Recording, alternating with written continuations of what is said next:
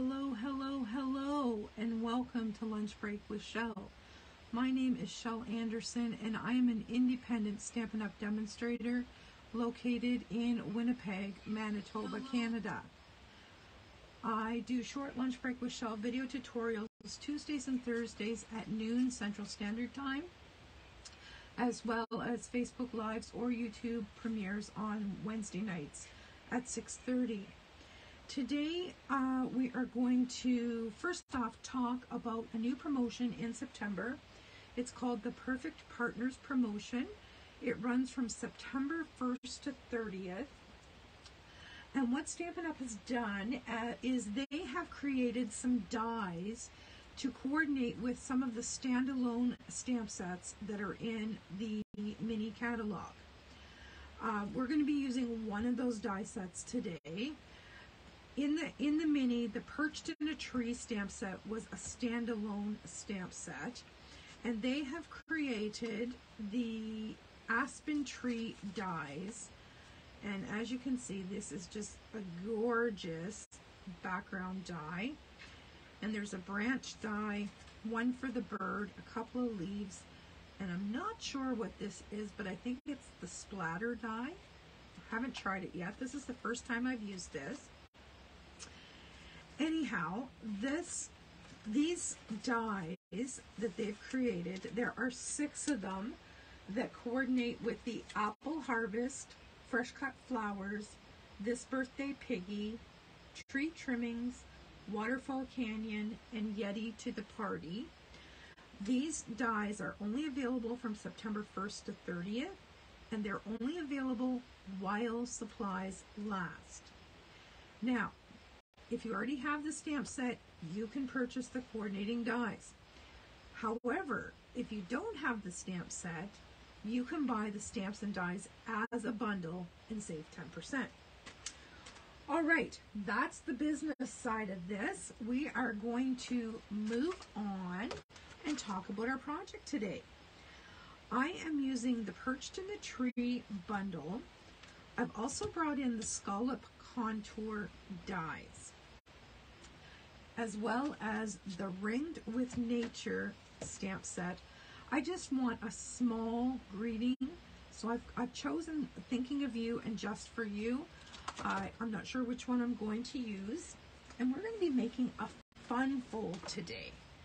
So I am going to find my paper trimmer and I am going to bring in a piece of the Ringed with Nature DSP.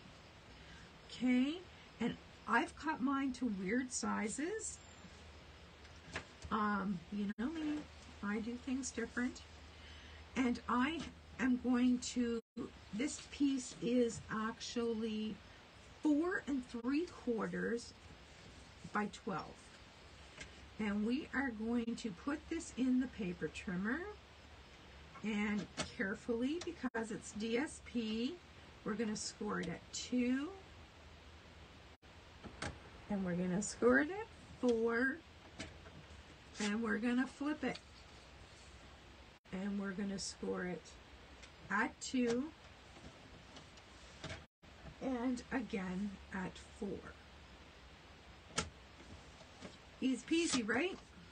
All right. Now we are going to fold it. Now you have a decision to make as to what you want to be front and center. For me, I think I want, nope, let's do it the other way. I want it to look like this.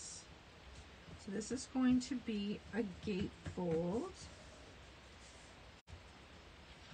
And by folding it,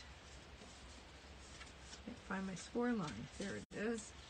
By folding it this way, the birds are going to show.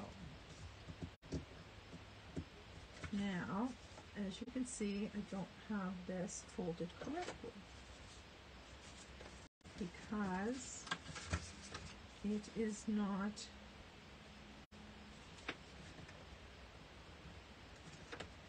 go.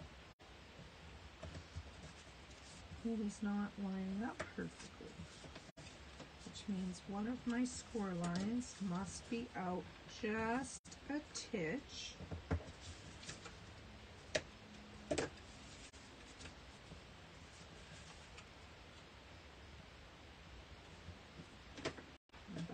The right there. All right, so there is our card base, or part of it. For the inside, so we have a nice place to write our greeting. I have a piece of basic white. Whoops, let's take the cover off the blue. That we're going to put on the inside so that we have a nice place to write our greeting. And I'm just centering that up on that inside panel. Okay, so far so good. Now I am going to bring in this four and a quarter by five and a half inch piece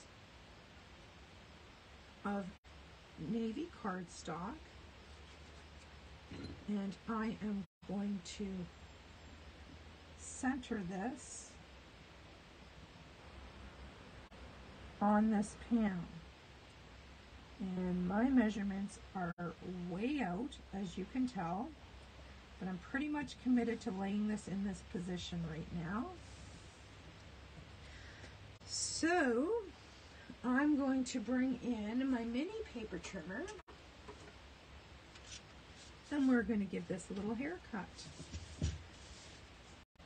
I don't know what I was thinking. I was thinking that my borders would match, and obviously they do not. So we just want a wee little border that matches all the way around. That looks much better. And let's do the same thing down here.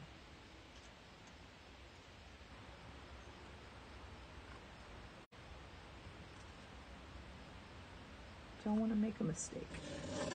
Not at this point in the game. There we go. That's much better. Okay, so we have that. Now we are going to work on a focal image and I have pre-stamped in Memento black ink.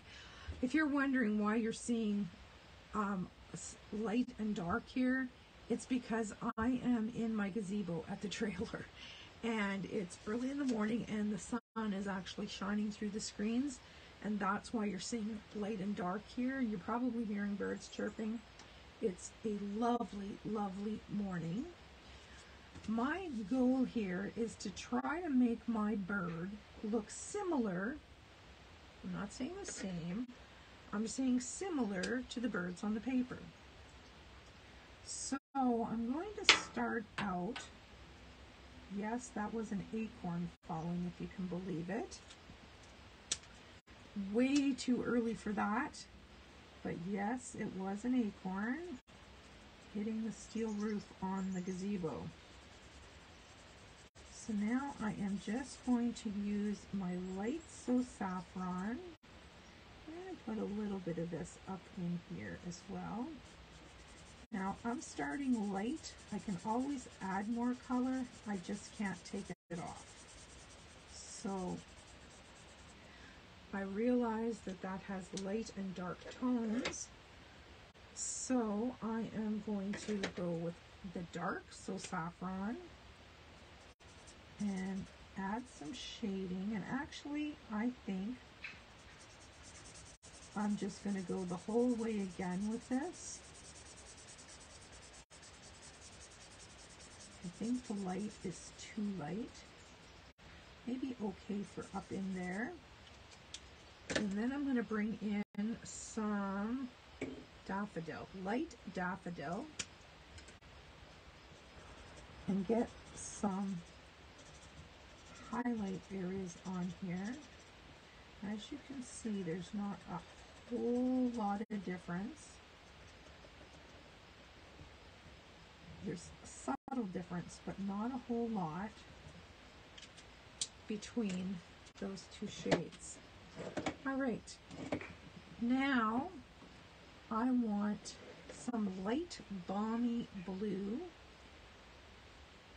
going. I realize this bird is a different bird than what's in the picture. So there's no way that we can totally make these the same. But we can play at it a little bit. All right, there's some light. And let's go with some dark.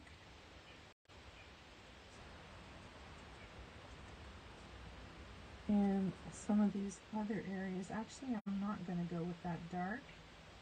I don't like it. I'm just going to blend that out.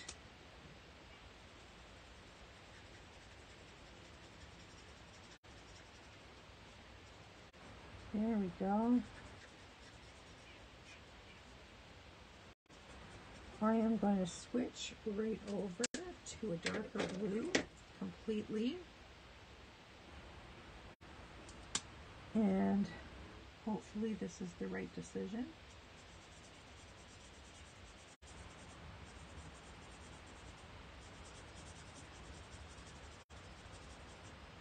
And it's all in your interpretation, right?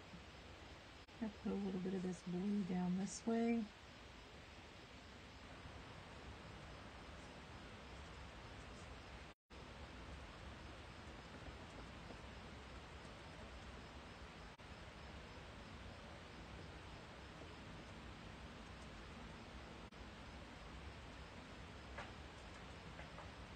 I'm trying to make this look a little bit chalky through here because feathers are not smooth, right?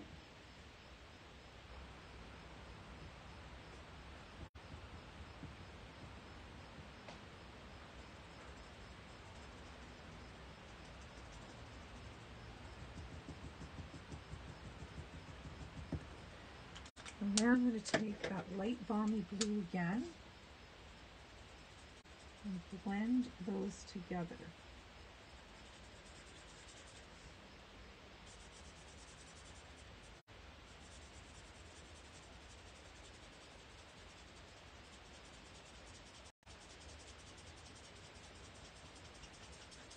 And all those white areas that I left here will become balmy blue.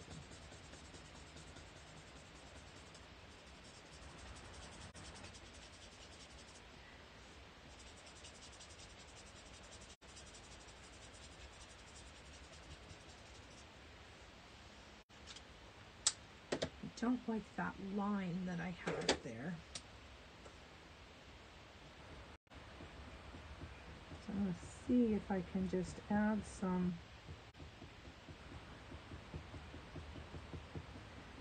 darker specks so this blends together a little more.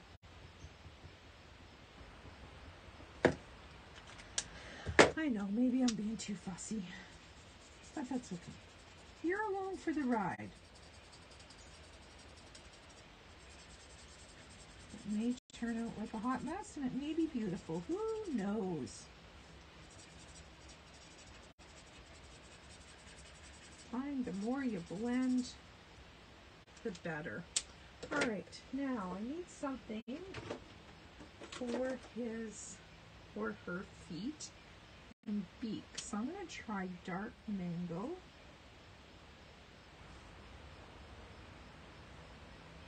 And now I'm going to use jade for the eye. And we're going to call that done. Okay, so I'm stuck to the table. There must be some adhesive. Yep, a little bit of adhesive there.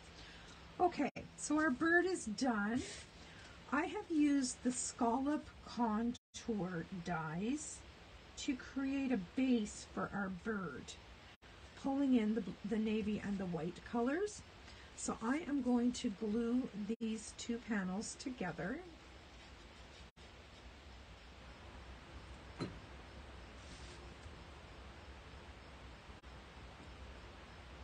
Like so. And then I'm going to use a dimensional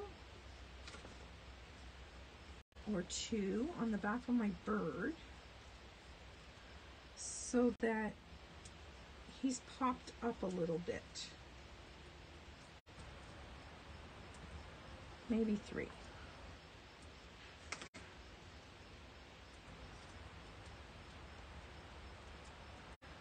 Remove those paper backings and we will try to center him as best I can. Pop him in place like so. All right. Actually, I'm going to lift him. I just, oh no, I don't need to do that. I'm not. I'm going to put it just like that. All right. Next off, I have some pieces for a belly band. I didn't have a piece. I had these two pieces of scrap, and I didn't want to cut a full sheet of cardstock just for this. You know what I'm saying? So I am going to glue these two pieces together so they become one long one. And then what I'm going to do is wrap this band with the seam in the front around to the back and yes, this is much too long now, but that's okay.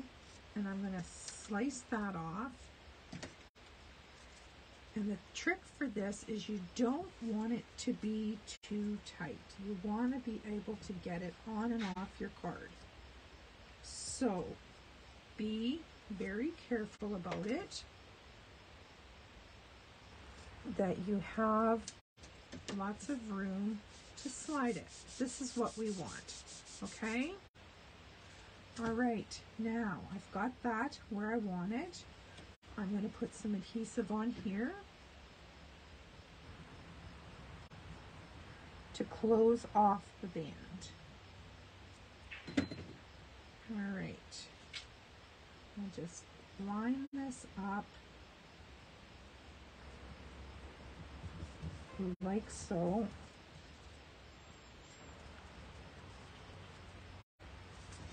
and that will close off our band. All right, now we get to put this right on like so. Isn't that pretty? Now, we want to be sure that we only get adhesive in this portion. So let's just flip this over for a minute and center this up backwards, okay? And I'm going to take a pencil and put two lines on the back here. This is where I'm going to put the adhesive within those lines. And then I know I'm good. Right? So I'm going to just, just to be on the safe side, I'm going to slide this off my card. Because I do not want to glue my card. Let's pop that in place. Bang on. Look at that.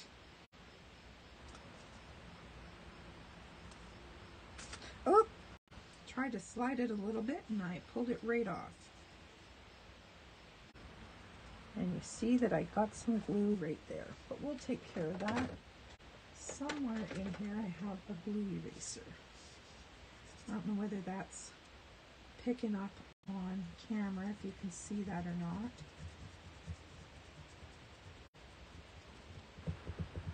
These glue erasers have saved me a million times. All right, now we will slide this back on our card. Beautiful. Now, the only thing we have left to do is our greeting. And like I said, I put a couple of greetings on here. thinking of you and just for you.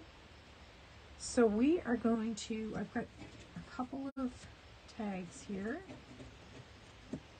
And we're going, these are from the Scallop Contours as well. We're going to use, um, I think we're going to use Memento Black ink. And we're going to give this a whirl. See if we can use one of these greetings. Trying to center this. I'm sorry if my head's in the way. There's just for you. Let's try thinking of you.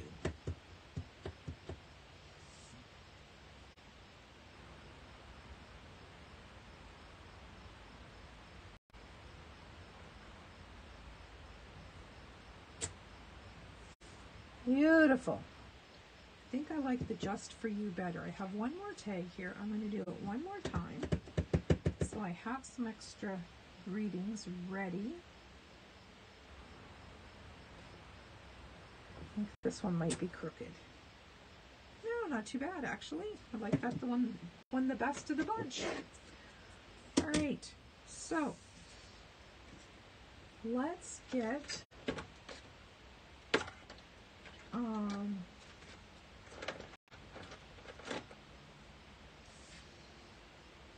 these little circles are not all punched out. Got a couple hanger-oners there. All right, so there's our tag. I'm thinking we're going to pop this on an angle. Like so.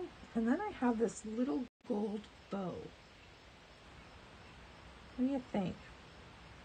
Or is that too much? Should I just take this greeting? How's this for an idea? Take this greeting and we can pop this inside and we will mat it on navy. Look, it's meant to be.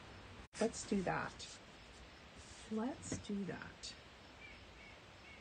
Stamping on the fly. You know me. Never have my mind made up. I just go with it. All right, now we need to trim out this greeting without trimming it off.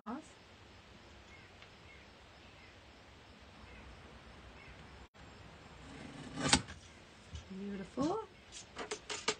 And I'm just going to glue this to the inside of the card. Right in the center. There we go. Just for you and all those beautiful birds. And then we will pop the belly band back on once again. Maybe I can get everything working here.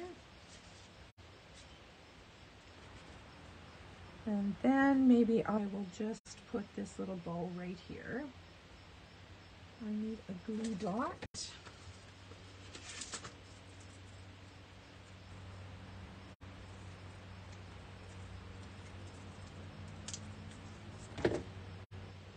And we'll just pop that right there.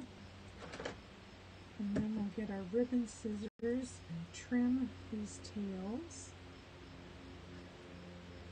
This one's twisted. There we go. And then we'll see if we can tame those tails just a little bit.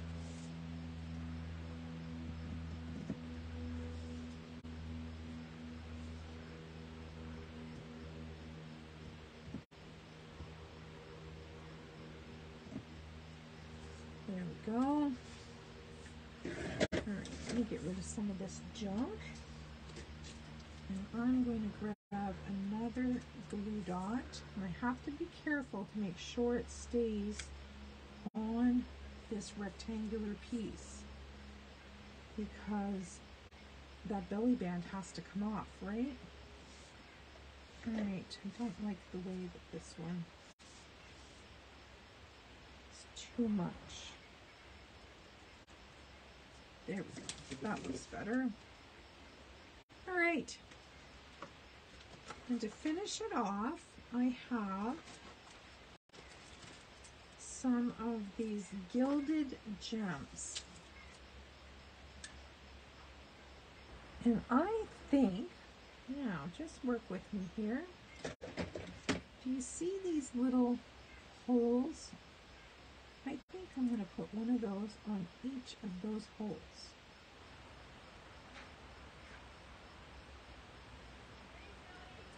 So there's three, six, or nine.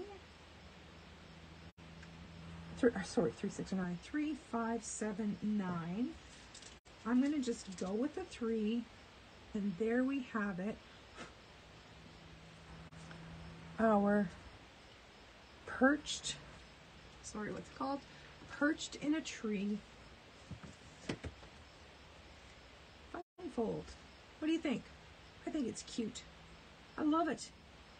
Love, love, love it. And I love the dies. So um, if you are interested in getting any of the dies from that promotion, um, please um, give me a shout. Once again, it's called the Perfect Partners Promotion. It runs September 1st to 30th while supplies last. And the dies involved are apple harvest, fresh cut flowers, this birthday piggy, tree trimmings, waterfall canyon, and Yeti to the party. And um, if you choose to buy the bundle, you will save 10%.